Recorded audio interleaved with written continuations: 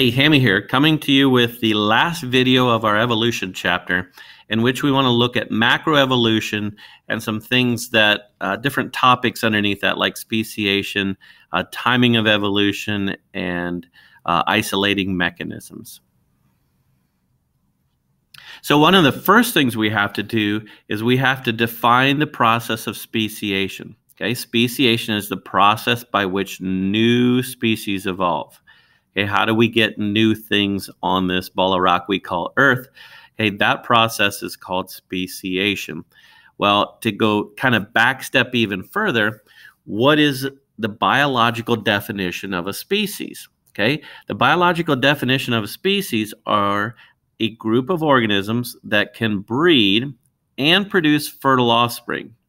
Okay, key there being fertile offspring. Uh, two examples uh, that we see uh, that humans have done. If you take a horse and a donkey and you cross them, you get a mule. And you'd be like, "Whoa, well, are horse and donkey the same species? Because look, they can make offspring."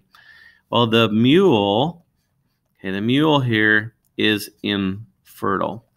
Uh, sometimes they, the F1 might be fertile, but then the next generation of mule then is often infertile.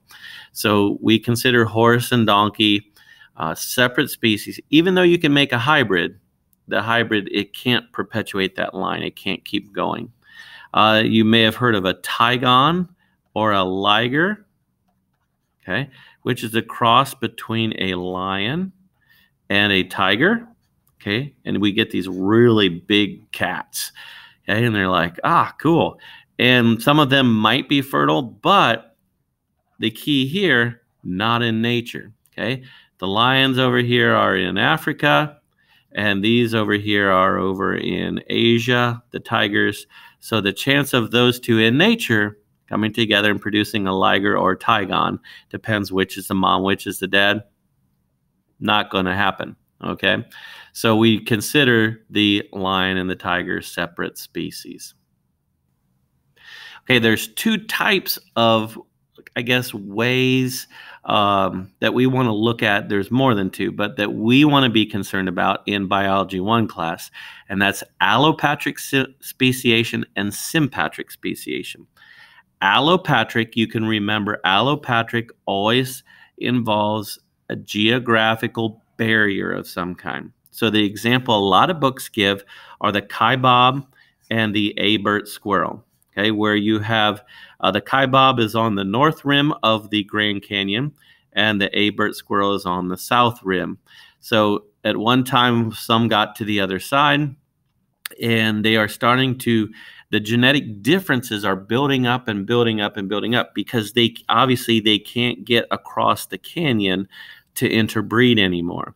So this population over here is becoming more genetically different than this population over here. Okay, right now they're subspecies. Eventually, these things, if separated long enough, these things might become separate species. We'll, okay, we'll have witnessed speciation occurring. another uh, way that this happens, geographical barrier would be like islands like on the Galapagos, where things get blown from island to island and there's very different habitats on each. So they each adapt to their island and then they become more and more and more different. Okay, they become isolated from each other. Um, so things, yeah, like rivers, uh, mountain ranges, okay, mountain ranges as well, would all be kind of keep things isolated from each other geographically and then they separate on their own, be, might become different species.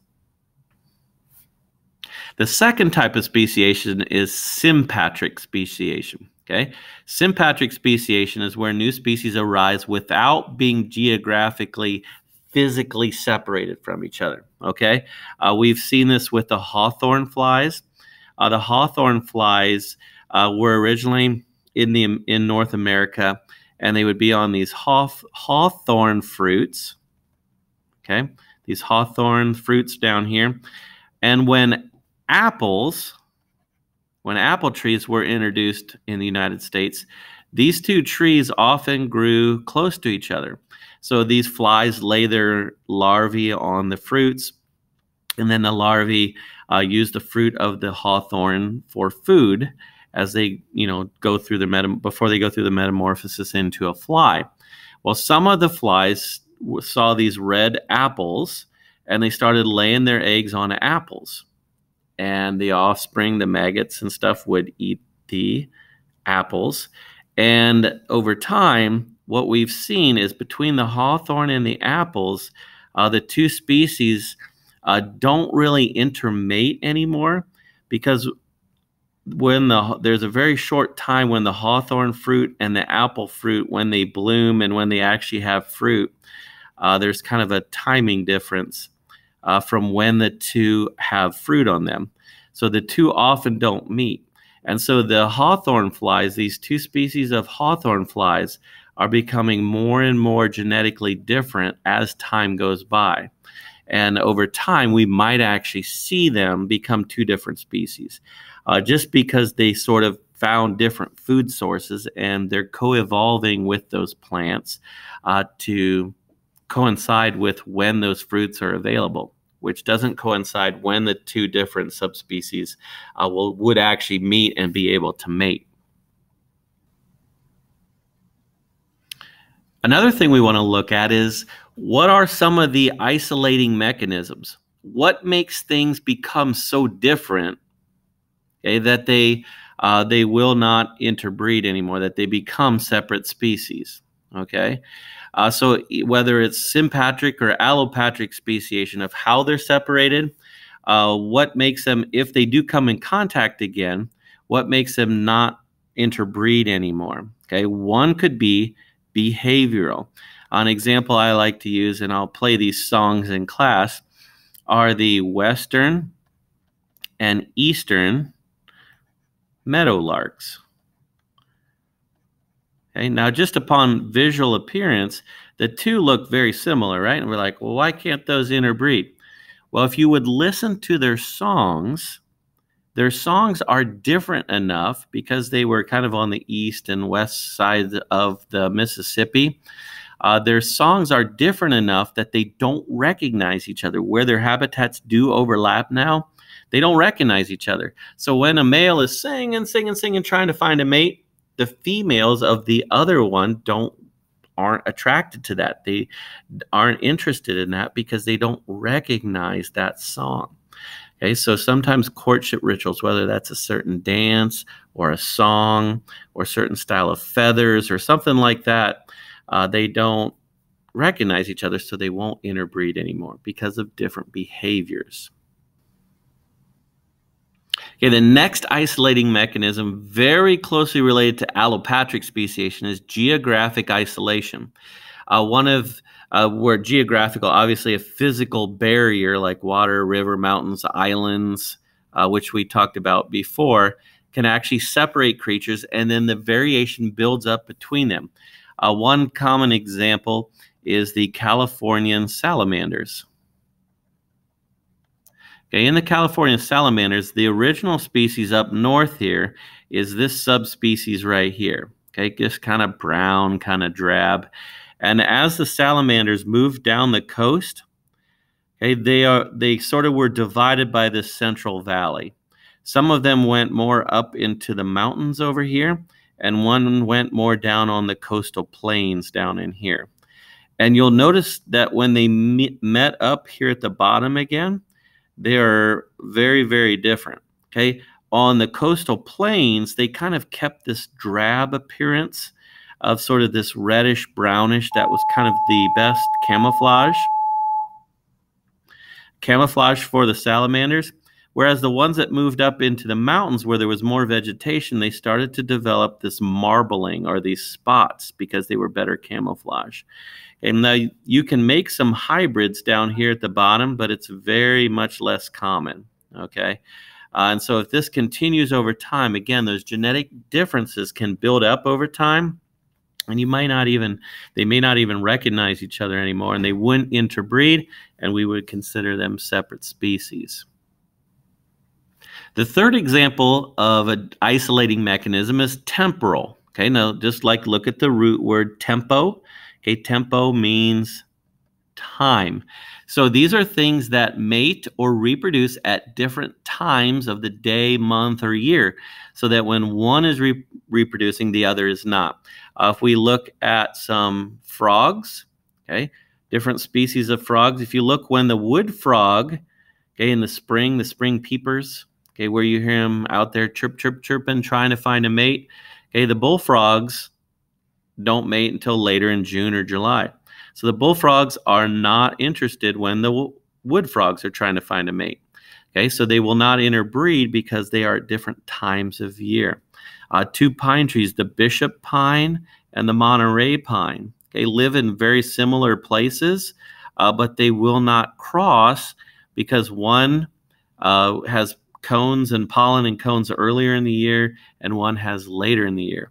So because of different times of year that they are sending out pollen, they they do not cross. Okay, because of different time or temporal isolation.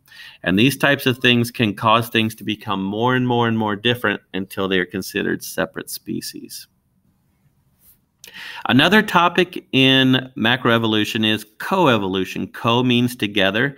So when two things kind of evolve in response to each other. When changes happen in one, it will kind of force some changes to happen into the other because the two depend upon each other. And in other classes, right, we've learned that two things that depend upon each other are called symbiotic symbiotic relationships. Okay, an example of this would be flowering plants and their pollinators. Uh, if you look over here, is the Mata Gascar hawk moth. And the flower that it, I think it's an orchid that it pollinates. Okay, look at this long tongue. They can grow up to about 30 centimeters, which is over a foot long. Okay, so we're talking these long, long tongues.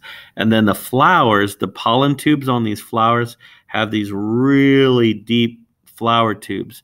So that tongue is adapted. They're both adapted to each other. This has a long nectar tube, and the hawk moth has a long tongue to reach down in there to get the nectar and stuff at the bottom.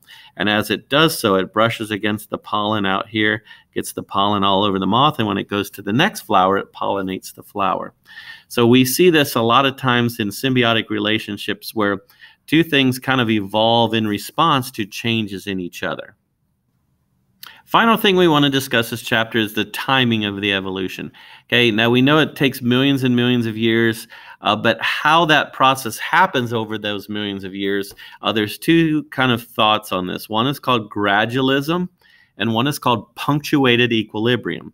Gradualism, just like the root word sounds gradual, it says where evolution is slow, steady. Uh, so if you look down here, this would be the this would be the gradualist model down here.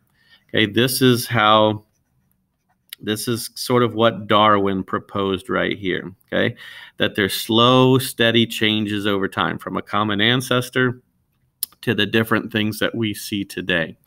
Uh, but what in the late 1900s, okay, there's um, other people like Stephen Jay Gould, uh, paleontologists and stuff that uh, found fossils, and the fossil record said, well, we don't have all these in between things. So, what they think may have happened is these things didn't evolve very much for a long period of time, stayed the same. And then, when there were uh, periods of environmental change or habitat change, it caused kind of this short burst or rapid evolution and then the environment stayed the stayed the same for a while so you had these long steady times of equilibrium okay? And the fossil record sort of supports that idea a little bit better. So you have the same thing and then it's punctuated with a period of rapid change okay? Now rapid as in maybe thousands of years instead of million millions but then it stays the same for a long time as long as the environment that they're adapted to stays very much the same Okay, so just two different kind of ideologies on sort of how fast and how this process of speciation actually happens. Okay, so I hope you have a good understanding of evolution after these videos. Again, we'll make sure to ask me if you have any questions about these ideas and, and what all this stuff means. And you can go back and review these videos uh, if you need to.